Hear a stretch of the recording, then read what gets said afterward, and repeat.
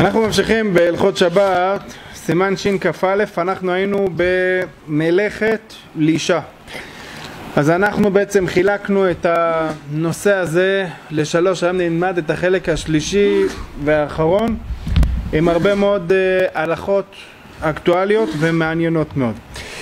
יש לנו בעניין הזה של הלישה את הנידון, חלק מהדברים זה דברים ידועים לגבי ריסוק בננות, או אדם שרוצה לעשות אה, סלט אבוקדו, לרסק את הסלט הזה, או ריסוק של תמרים. יש כאלה גם שאוהבים לקחת את הלחם, החלק הרך שבלחם, ולמעוך אותו. או יש לך פירורים של עוגה על השולחן, אתה מקבץ את כל פירורי העוגה והופך אותם לעיסה אחת. כל אלו האם יש בהם איסור של אישה או לא? אנחנו נראה עכשיו דבר דבר. דבר ראשון נתחיל מהמפורסם. יש לנו את ההלכה הידועה לגבי ריסוק של אה, בננות ואבוקדו בשבת. ההלכה היא שמותר לרסק בננה, בדרך כלל עושים את זה בשביל אה, תינוקות.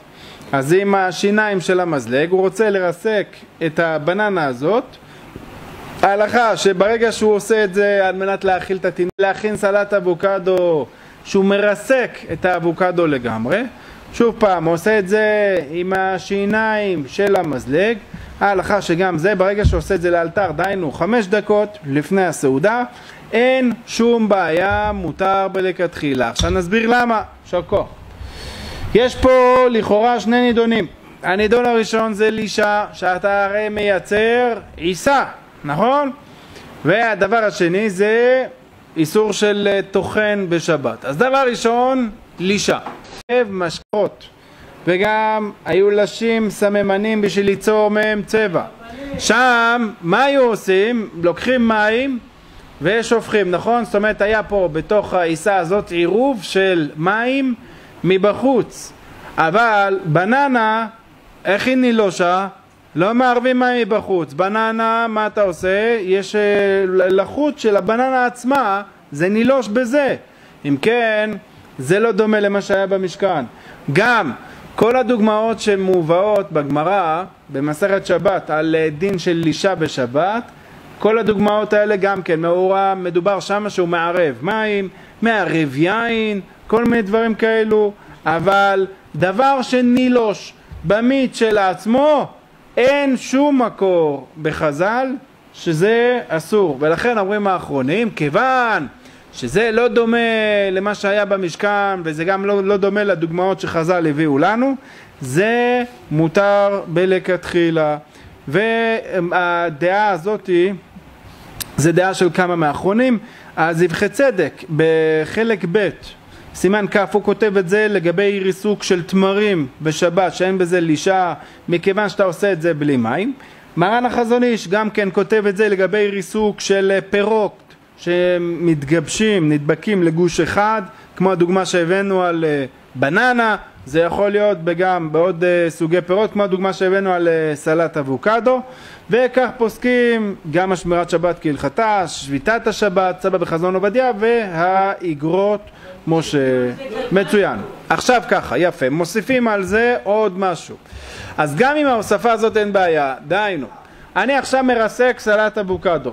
אז השלב הראשון, אמרנו אתה מרסק עם שיני המזלג, אין לי, איתו, אין לי פה בעיה של לישק, הוא נילוש במיץ של עצמו. לאחר מכן אני רוצה לסחוט לתוכו לימון, מותר או אסור? אז גם זה פעולה מותרת. למה? למרות שאחרי סחיטת הלימון אני לוקח את המזלג ומערב. אפילו לכם מותר, למה? הלימון הזה, מה הוא עושה? הוא מגבל? מה הוא עושה? יפה? זה מפרק. אז זה פעולה שהיא הפוכה מפעולת הלישה. למה זה דומה? אנחנו דיברנו שבוע שעבר בתחינה. טחינה שהיא נוזלית, להוסיף עליה מים, לדלל אותה מותר למה? אומר האור לציון, זה פעולה הפוכה מלישה שהרי אתה מדלל אותו. גם פה הלימון מדלל את האבוקדו ולכן בזה אין שום בעיה של אישה מצוין. לאחר מכן שמים, סוחטים לימון, מה אתה עושה עוד? אנשים מטבלים את זה, שמים שם בצל ירוק, נכון? שמים שם אה, שום, ביצה קשה, טוב ביצה קשה אין לי איתו בעיה. עכשיו, בזה גם כן, שאני רוצה לפזר שם כוסברה קצוצה, או לשים שם שום קצוץ, אמרנו מותר לכתחילה, אין בזה לישה, למה? כי זה מתפזר בתוך הסלט חינה, זה לא מתגבל להיות גוש אחד, זה מתפזר, כל אחד הולך למקומו, גם כאן זה אותו דבר בדיוק. בסלט אבוקדו, שאתה שם שם שום, אתה שם שם את הבצל ירוק, תשים שם מה שאתה רוצה, זה לא מתגבל להיות גוש אחד. בחי גוונה אמרנו שיש לנו כלל שאין בזה איסור של אה, לישה וזה מותר בשופי. כל זה דלא כדברי האור לציון. האור לציון טוען שבסלט חינה לשים שם שום זה בעיה כי הסלט חינה מגבל את השום להיות אחד, לכן הוא מצריך שתעשה את זה בשתי שינויים, אבל הלכה למעשה דלא כדברי האור לציון. מדוע? יש לנו שתי ראיות משולחן ערוך מפורש שבחי גוונה ברגע שהם לא נדבקים ולא נהפכים להיות עיסה אין עם זה שום בעיה והראיות הללו הובאו באחרונים גם בספר אורחות שבת גם הגאון רב ניסים קרליץ כותב את זה והסברה של זה פשוטה וברורה. לכן אמרנו אין עם זה שום בעיה. הראיה הראשונה ממרן זה שימן ש"מ סעיף י"ב. מרן כותב שמה אדם שלוקח סום סום ושם את זה בתוך כוס מים עובר על איסור דאורייתא של לישה. סום סום בתוך כוס מים זה לישה דאורייתא. למה? מה עושה המים לסומסום? פותח אותו ואז בסומסום מבפנים מה יש לו? אה, שמן, שמן סומסומין ואז השמן הזה מה הוא גורם? הוא גורם לכל הסומסומים להתגבל ולהתקשות לא, לא, לא, לא, לא, אפילו שלא קוטש. מרן אומר, שם סומסום במים, חייב משום לישה, זה לישה דאורייתא, כי הדרך הוא ללוש בסומסום בצורה כזאת. למה? אומר מרן, מפני שמתערבים ונתלים זה בזה. למה זה נתלה בזה בזה?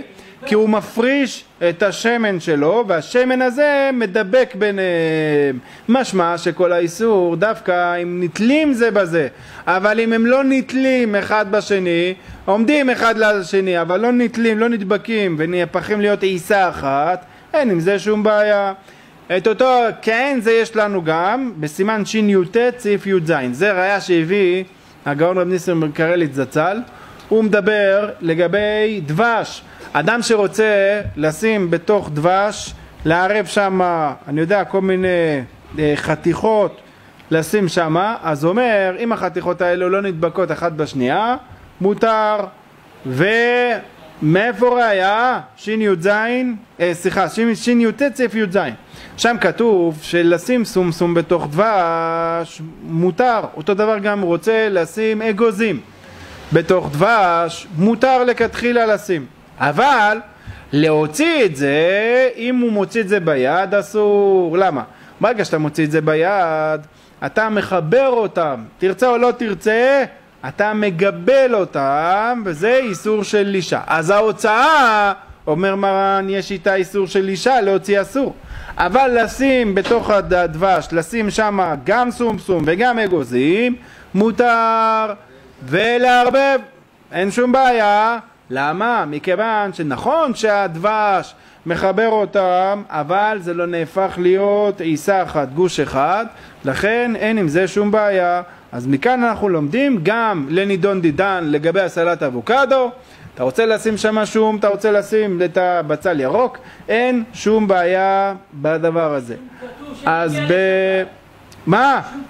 קטש אותו מערב שבת, אז א' או שחתך אותו בסכין, לחתוך דק דק חמש דקות לפני הסעודה, מותר לכתחילה. אה, חתוך, בסדר? אז קטוש מערב שבת, חתוך משבת. טוב, עכשיו ככה, לפי הכלל הזה כותב בספר אורחות שבת, אדם שרוצה לקחת סוכר ו... או קקאו, לשים את זה בלבן ולערבב אותו. אין בזה גם כן איסור של אישה, מכיוון שזה לא נעשה על ידי כך עיסה או קיבוץ חלקים. אותו דבר יש כאלה אנשים שאוהבים לקחת שמנת, לשפוך את זה בצלחת, והוא חותך תות שדה, חותך בננות, ומערב את זה ואוכל. זה גם כן בשבת מותר שוב פעם, מכיוון שזה לא מתגבל להיות אחד, אין שום בעיה בדבר. יש גם עוד כמה דוגמאות לזה. יש אנשים שאוהבים באשל, מפוררים בתוך זה ביסקוויטים. זה לא משנה עכשיו אם הפירורים של הביסקוויט זה פירורים קטנים או חתיכות גדולות. בכל מקרה, האשל לא הופך את הביסקוויטים להיות עיסה אחת, ולכן בשני המקרים הללו אתה יכול לעשות את זה בשבת לכתחילה. זה שאתה מפורר ביסקוויט אין עם זה איסור, למה? איפה הלך טוחן? יפה, אין טוחן אחר טוחן, אז אין לי בעיה. ומגבל, כמו שאמרנו עכשיו, אין פה. למה? כי זה לא מתגבל להיות אחד, אז אין בעיה. מה? מה זה מאחד? כל האדמות האלה, יפה. זה גוש אחד. איזה גוש? מה, זה נהיה גוש? זה נהיה כמו עיסה? כשאני לוקח קמח ומים, מערב אותם ביחד, מה קורה? המים מחברים את הפירורים של הקמח, הופכים אותם להיות גוש אחד. זה נקרא עיסה. אבל פה מה קרה? האשל, הוא מחבר את הגרגירים של הביסקיבית להיות אחד? לא, הם נשארים חתיכות, מקסימום הוא מקרב אותם אחד לשני, אבל זה לא הופך את זה להיות גוש אחד. ולכן זה לא נקרא עיסה, אז אין לי פה בכלל שום נידון ומותר לעשות את זה בשבת ולכתחילה. האור לציון מחלק, הוא אומר אם זה חתיכות גדולות אין בעיה, חתיכות קטנות, הוא אומר זה מגבל אותו להיות אחד ואסור, אבל אמרנו המציאות היא שזה לא מתחבר, לא מתגבל להיות גוש אחד, לכן בשני המקרים הללו לא צריך לחוש לדברים שלו ומותר. אותו דבר יש אנשים אוהבים לעשות uh, סלט פירות מרוסק, בסדר? היום קוראים לזה שייק. אז הוא מרסק כמה פירות ומפורר על זה ביסקוויט, גם כן, שוב פעם, זה לא מחבר את זה להיות אחד ומותר. יש גם אוהבים בתוך אשל לשים גרנולה. יש היום כל מיני סוגי גרנולה עם פירות יבשים, בלי פירות יבשים. שוב פעם, זה אותו סיפור, זה לא מתגבל להיות אחד ומותר. קורנפלקס בחלב, או כל מיני סוגי דגני בוקר, אז יש לך עוגי, שוגי, מוגי, כל הדברים האלו, לשים את זה בחלב, תשים בחלב, תאכל, אין שום בעיה. למה? שוב פעם, זה לא מתגבל להיות עיסה אחת, ולכן אין בזה שום בעיה. יש בספר הלכות שבת זה שבת, זה ספר של הרב קראפ מקריאת ספר, אחד מהתלמידים של הרב אלישיב, הוא מעיר שבקורנפלקס בחלב יכול להיות עם זה בעיה, אם אתה משאיר את הקורנפלקס והחלב בכמה דקות בצלחת, מה קורה? זה נהיה רך וזה מתגבל, אכן הוא רוצה לומר שזה אסור, אבל למעשה האחרונים דחו אותו שלא צריך לחשוש לזה, למה? רוב האנשים לא אוהבים את הקורנפלקס שזה רך. אוכלים את הקורנפלקס מיד כשהוא קשה. אז אם כן, כשאני שופך עכשיו את החלב לתוך הקורנפלקס, זה פסיק רשע? חייב לקרות שזה יגיע לשלב הזה של הגיבול? לא, לפני שיגיע השלב הזה הוא כבר גמר את הצלחת. אז אם כן, זה לא פסיק רשע, הוא מה גם שהוא לא מתכוון לכך, ולכן לא צריך לחשוש לזה, זה מותר בלכתחילה. יש גם... אה? או, עכשיו מי שאוהב את זה רך, אז פה אתה עכשיו צריך לדון, בשביל זה הדגשתי, אני מדבר על uh, רוב העולם. אז ככה, לשים על זה מים, הרי זה נקרא דבר שאינו בר גיבול, נכון? הרי גם אם הקורנפלקס מתרכך, זה לא נהיה הפך להיות עיסה כמו קמח, שזה נהפך להיות גוש אחד חזק, נכון? זה דבר שאינו בר גיבול, זה כמו שאני עכשיו uh, עושה בחול ים, תיקח, תשים מים, תעשה ממנו uh, כדורים, יפה? זה מתגבל נכון, אבל זה ברגע שהוא מתייבש הוא מתפורר בחזרה. אותו דבר גם הקורנפלקס, נכון? זה פירורים גסים. זה נקרא דבר שאינו בר גיבול. דעת מרן השולחן ערוך, דבר שאינו בר גיבול, מותר לשפוך עליו לכתחילה, חלב, לשפוך עליו נוזלים, אין שום בעיה.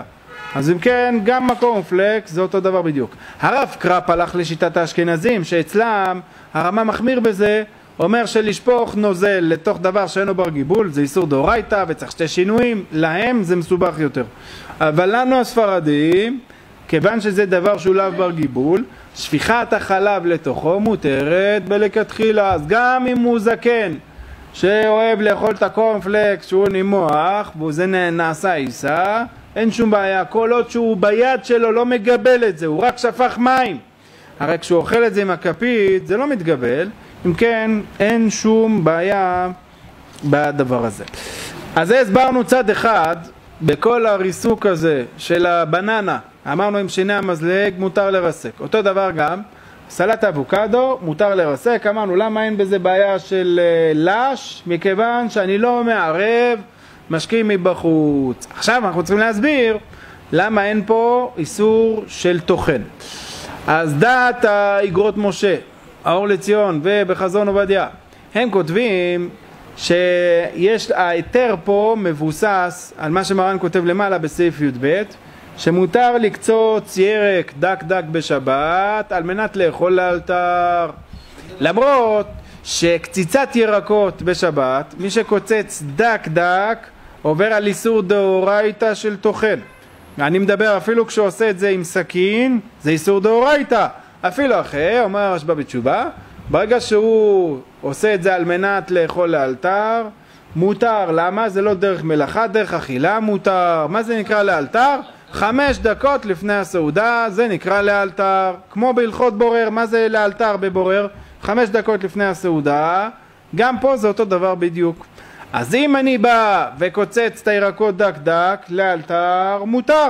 אותו דבר גם הריסוק של הבננה או ריסוק של האבוקדו, ריסוק וטחינה זה אותו דבר, גם פה ברגע שאני לא עושה את זה בכלי טחינה אלא בשיני המזלג, זה נקרא שינוי, וכיוון שזה לאלתר, מותר בלכתחילה. אם אני לוקח עכשיו סלייסר למשל, סלייסר, שם אתה מסובב, מסובב איזה שש, שבע סיבובים, אז הוא חותך לך את הירקות דק מאוד. אז זה איסור דאורייתא, ואי אפשר להתיר את זה בשבת. גם אם הוא יאכל את הסלט הזה לאלתר, זה איסור דאורייתא. למה? כי זה כלי תחינה. להשתמש בכלי תחינה בשבת אסור, גם אם אני עושה את זה על מנת לאכול לאלתר. או שאני לוקח מועך תפוחי אדמה. ואני מועך את התפוחי אדמה, זה כלי תחינה. כלי תחינה זה לא מתיר לי, אפילו אם אני אעשה את זה לאלתר, זה אסור. אותו דבר מי שלוקח קוטש שום וקוטש עם זה את השום בשבת, אפילו שהוא עושה את זה על מנת לאכול לאלתר, כל זה איסורי דאורייתא, אין מה להלתיר לאלתר. כל מה שאנחנו מתירים, אומר הרשב"א, כשאני חותך עם סכין, סכין זה לא כלי תחינה, אז אם כן, זה אין דרך תחינה בכך, אז זה שינוי, מוריד אותו לדרבנן, כשאני עושה את זה לאלתר, התירו חכמים, כי זה דרך אכילה. אותו דבר גם, כשאני לוקח את המזלג ואני מכווץ, שאני טוחן את אותה בננה, אין שום בעיה, המזלג זה לא נקרא כלי תחינה, כשאני עושה את זה על מנת לאכול לאלתר, מותר אותו דבר גם עם האבוקדו. אלא מה? יש לנו דעת החזון איש ידוע חזון איש מחמיר בזה, אומר עיסוק של אבוקדו בשיני המזלג אסור, מה שמותר זה רק בידית של המזלג. ולמה? חזון איש הוא מוכיח מתוספתא. הרשב"א אמר שטוחן לאלתר מותר, נכון? יש תוספתא שכתוב שמה שריסוק אפילו לאלתר אסור. אז לכאורה זה סותר דברי הרשב"א. בא החזון איש ולומד מזה יסוד. אומר יש הבדל בין לחתוך דק דק לבין לרסק. לחתוך דק דק למה הרשב"א התיר? כי לחתוך דק דק זה לא פעולה גמורה של תחינה, זה דומה לתחינה, לכן אומר לך לאלתר זה כבר לא דרך מלאכה, זה יותר דרך אכילה, מותר. אבל ריסוק, אומר הרב, זה תחינה גמורה. אם ריסוק זה תחינה גמורה, אפילו שעושה את זה לאלתר, אסור. לכן אומר, ברגע שעושה את זה בשיני המזלג, כיוון שדרך לרסק עם שיני המזלג ביום חול, זה לא נקרא שינוי ולכן זה אסור, רק אם עושה את זה בידית של המזלג זה שינוי גמור, רק אז אפשר להתיר. זה דעת החזון איש. השמירת שבת כהלכתה, הרב אלישיב פוסק אותו, לכן לאשכנזים באמת הם יצטרכו לעשות את זה בידית של המזלג. אבל האור לציון חזון עובדיה והאגרות משה, דעתם להתיר אפילו בשני המזלג מכיוון שזה לא דרך תחינה, זה כן נקרא שינוי. אפילו שביום חול אני רגיל לעשות עם שני המזלג, אבל עדיין זה לא הופך את זה להיות כלי תחינה. אז זה עדיין נקרא שינוי. בשביל מה קנית מזלג? לטחון איתו אבוקדו? לטחון בננות? לאכול, אז זה יפה, אז אפילו שדרך ביום חול לטחון איתו, זה עדיין לא הופך אותו להיות כלי תחינה, אז זה שינוי, ברגע שאני עושה את זה לאלתר, לפי הפוסקים הללו אין הבדל בין ריסוק לבין לחתוך דק דק, שניהם לאלתר מותרים, לכן לדידן אין שום בעיה בדבר הזה. אשכנזים מחמירים ואנחנו הספרדים מקלים בעניין הזה. יש עוד מחלוקת בין הגאון רב ניסים קרליץ זצ"ל לבין סבא בדין של אה, שייק. שייק מה זה? אתה לוקח כמה סוגי פירות וטוחן אותם. אז ביום חול אתה הולך לחנויות האלו של המיצים אז מערבבים לך שם, אה, אני יודע, שמים אה, תות שדה, שמים בננה, פפיפלורה, כל מיני דברים כאלו ויש לך בבלנדר, מערבבים את זה, את הכל ביחד, טוחנים, לבריאות, לחיים טובים ולשלום. עכשיו, בשבת הוא רוצה לעשות את זה בבית. אז כמובן אין בלנדר, אז מה עושים? לוקח את המזלג, עם המזלג הוא מרסק את כל הפירות האלו, מערב אותם, עושה מזה עיסה ורוצה לשתות או לאכול עם כף, אני יודע, תלוי מה יצא לו שמה. אז זה בשבת. ההלכה היא שמותר לעשות את זה בלכתחילה. זה דעתו של סבא בחזון עובדיה. למה? אומר, הרי זה פה, אין פה לישה כי זה נילוש במיץ של עצמו. כל פרי נילוש במיץ של עצמו. אני לא מערב פה משקה מבחוץ. אם אני אשפוך על זה מיץ ענבים, ינחם המש, יהיה פה בעיה. אבל ברגע שאני לא שופך משקה מבחוץ, זה נילוש במיץ של עצמו, אז אין שום בעיה בדבר הזה. הגאון רב ניסים קרליץ, הוא בא וטוען כך, אומר, הרי כשאני עכשיו סוחט פה את כל הפירות, מה קורה? יצא לך מיץ מהתות והתערב בבננה. אז הוא קורא לזה שהתערב משקה מבחוץ.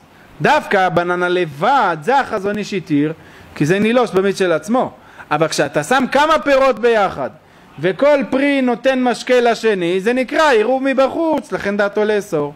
עשה בדעתו שזה לא נקרא עירוב מבחוץ, כל עוד שאתה לא לוקח בקבוק ושופך מבחוץ, זה לא נקרא עירוב מבחוץ, אלא זה נקרא נילוש במיץ של עצמו, ולכן דעתו שגם אם אתה רוצה לעשות את השייק הזה, מותר בלכתחילה. יש כאלו, או יפה מאוד, אז יש כאלה לוקחים תפוז ורוצים לסחוט על השייק הזה שייתן לו טעם, סבא סובר שגם זה מותר.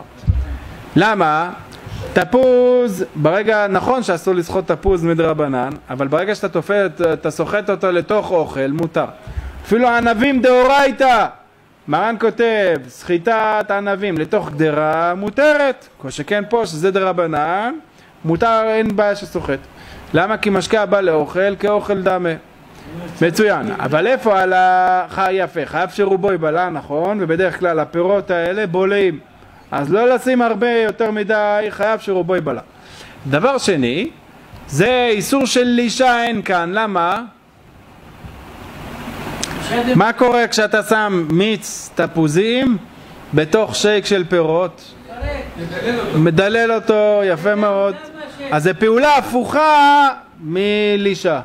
אז זה מותר, כמו שאמרנו מקודם לגבי סלט אבוקדו שמותר לסחוט שם לימון כי זה מדלל אותו וכמו שבטחינה ברגע שאני לוקח את הטחינה המדוללת ושם שם מים לדלל אותו יותר מותר, למה? כי זה פעולה הפוכה מלישה אותו דבר גם פה כשאתה סוחט את התפוז זה פעולה הפוכה מהלישה כך שאין שום בעיה בדבר אז אמרנו גם מקודם שגם אם רוצה פירורים של ביסקוויט לשים מותר, כי אין פה לישה, לכן אפשר גם להקל בדין הזה. ברוך אתה. אדרבה זה מדלל אותו, לא מאחד אותו. לא, ברגע שאין לך כמות גדולה זה מאחד אותו. לא מאחד את הבננה? כן. היו פעם בננה אחת שלם? ככה, לא. זה, זה מגבל את כל הפירות ביחד. מה יהיה? זאת אומרת, אתה מרים אחד גם שתיים? אה, לא. לא, אז זה בלילה רכה, זה לא בלילה אהבה ממש, אתה צודק. בלילה רכה דרבנן. זה? דרבנן, אבל עדיין זה איסור. אם הוא ישפוך, אם הוא ישפוך 100 גרם קמח, ישפוך ליטר מים. זה נקרא... טוב, הלאה, עכשיו אה, דבר נוסף. יש לנו דין של אה, אה, ריסוק לחם, דיינו. יש אנשים, בפרט הילדים, הם אוהבים לק- לק- לקחת את הלחם הרך ולמעוך אותו, לעשות מזה עיסה. הפעולה הזאת בשבת מותרת בלכתחילה. למרות שיש פה, כאילו עושה פה עיסה, אפילו אחרי, אין עם זה שום בעיה, והסיבה היא, בספר שביתת השבת, הוא אומר, לפי הכלל שלמדנו עכשיו, אמרנו כל דין לישה זה דווקא כשאני מערב משקה מבחוץ, נכון? פה, בלישה הזאתי, לא ערבתי שום משקה מבחוץ, לכן אומר הרב, אין עם זה שום בעיה. הרב ארבע חולק עליו, אומר, איך זה נילוש? מה קרה פה? הרי זה נתפס, נכון? זה נילוש ונשאר כך קשה. איך זה נילוש? אה? אתה ש... רגע, זה... לישה אחר לישה זה כבר נראה, שנייה. רק לפני זה, בא הרב אוירבך ואומר, רגע, כשאני מועך את החלק הרך של הלחם, אז הוא מתקשה. איך הוא מתקשה? מה תופס אותו? יפה, אבל מה תופס אותו? יפה, יש ללחם לחות. מאיפה בא לחות בלחם? יפה. מה? אלפיים שנה? לא, ששמו, שעשו עיסה, ערבו מים, יפה, המים האלה נשארים. אז אומר הרב אוירבך, אז הנה זה משקה מבחוץ, אז זה נילוש במשקה מבחוץ. זה הטענה שלו, אה? מה זה? או, יפה. אז השביתת השבת אומר, לא, זה היה בו, אני לא, עכשיו בפועל, אני לא מערב משקה מבחוץ, זה היה בו. גם בבננה שיש לה לחות, מאיפה זה בא, שהשקיתי את העץ, הוא בלע שם, שתה מים, אז אין לדבר סוף. אז לכן אמר שבעזרת שבת אין שום בעיה, לקחת לחם ולמרוח אותו מותר. האמת שהלכה למעשה אפשר להקל בזה, מכיוון שלדעה הזאת של השביתת השבת יש עוד אה, כמה אה, דברים שאפשר לצרף אותם, אחד מהדברים זה מה שאתם אמרתם, יש לנו מחלוקת האם יש לישה אחר לישה או לא, דעת החזון היא שלישה אחר לישה זה רק איסור דה רבנן אז אם כן, אם זה פה, אז זה פה זה לישה אחר לישה, זה יורד לדרבנן, אז ממילא המחלוקת פה נהפכת להיות מחלוקת בדרבנן, ספק דרבנן לכולה. לכן אומר הרב אלישיב, לקחת לחם, לרסק אותו, מותר בלכתחילה למעוך, לרסק, תקרא לזה איך שאתה רוצה, מותר. מה יש בערב פסח? לא, שמה מפורר. אוקיי, עכשיו מה עושה? מה זה, נילוש?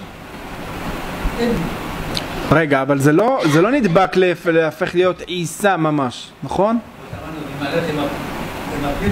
רגע, סבא כותב שמה, כותב שאסור. זה הורס את כל, ה, את כל הטעם של המצה וזה אסור. אז הוא אומר, לפורר את זה לחתיכות פחות מכזית, לחתיכות קטנות אפשר, אבל לשים מים אסור. מה? לא, לא. לשים הרבה מים, דעתו של סבא שאסור. גם מעט מים זה להשערה, גם זה אסור. לא, זה לא נדבק ממש, זה כבר אה, דבר שהוא אפוי, אז אה... אה? טוב. בקיצור ולעניין, אז אה, אמרנו מסקנה, למעוך את הלחם, אין שום בעיה בדבר. טוב, עכשיו יש עוד הלכה שהיא גם כן קשורה לנושא שלנו, וזה בעניין של אה, משחקים בפלסטלינה בשבת. צריך לדעת שאסור בשבת לשחק בפלסטלינה בשום פנים ואופן, לא רק לנו הגדולים, גם לילדים קטנים מתחת לגיל מצוות אסור לשחק בפלסטלינה בשבת. יש בזה כמה וכמה איסורים, וזה איסור דאורייתא, ואני אסביר. דבר ראשון, בסוגיה שלנו, איסור של אישה, תתפלאו לשמוע שאין בפלסטלינה בעיה של אישה, הבעיות הן אחרות, אבל אישה אין כאן, למה? לפי הכלל שלמדנו עכשיו, כל הבעיה של אישה זה שאני מערב משקים מבחוץ. אבל בפלסטלינה, שאתה לא מערב משקים מבחוץ, אין בזה בעיה של אישה. אז אני לוקח כמה חתיכות של פלסטלינה ומחבר את כולם להיות אחד. לך נראה שזה פעולה של אישה, אבל לפי ההלכה אין בזה, זה לא נקרא לישה כי לא עירבתי משקה מבחוץ. כך כותב ספר שביתת השבת. למה זה דומה? אדם שלקח כמה חתיכות של שעווה בשבת וחיבר אותם, הפך אותם לגוש אחד. עבר על איסור של לישה, אמר שביתת שבת לא, יש פה בעיות אחרות של ממחק, אבל איסור של לש אין פה מכיוון שלא עירבתי משקה מבחוץ. אז אותו דבר הפלסטלינה. כיוון שלא עירבתי משקה מבחוץ, אין בזה שום בעיה. אלא מה? יש בזה בעיות אחרות. הבעיה הכי חמורה זה איסור של ממרח דאורייתא. מה זה ממרח? מחליק. כשלוקחים את האור של הבהמה, ממחק. ממחק וממרח זה אותו דבר.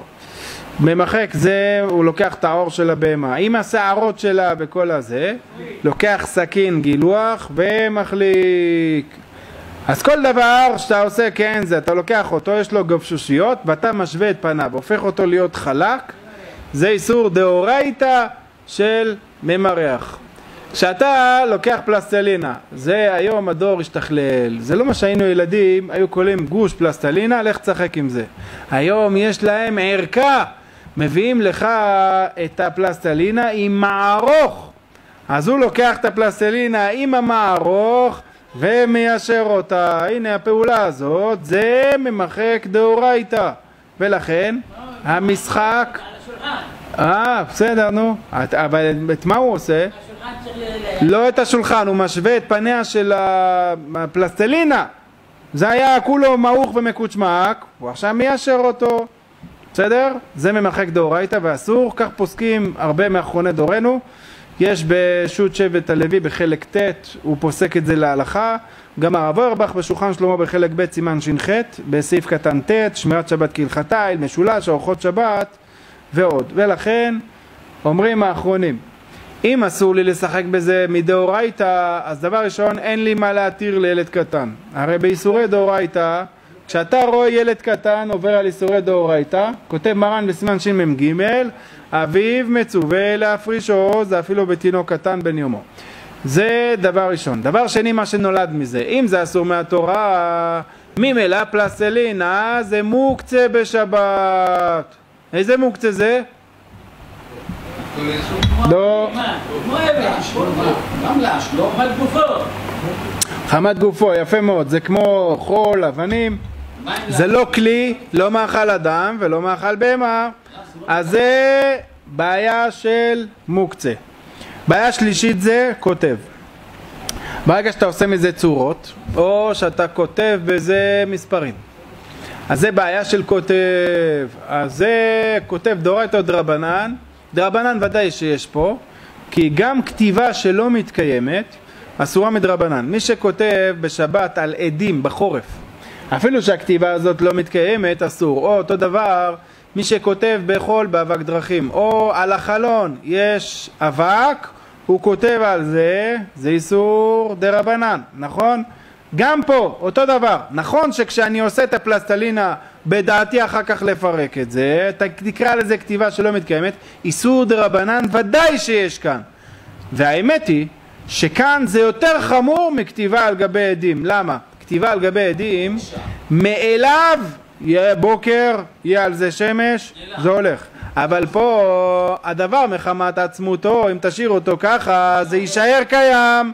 זה שאני בדעתי לפרק את זה, זה לא מוסכם שזה נקרא דבר שאינו מתקיים, אליבא דכולי עלמא, ולכן אין מה להתיר את הדבר הזה. מה? אני לא שומע. נו.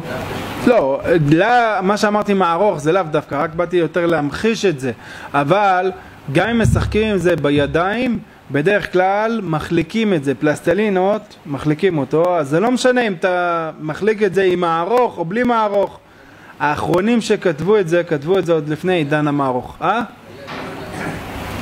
לא, לא צריך שיחליק אותו לגמרי, שיהיה ישר פלס.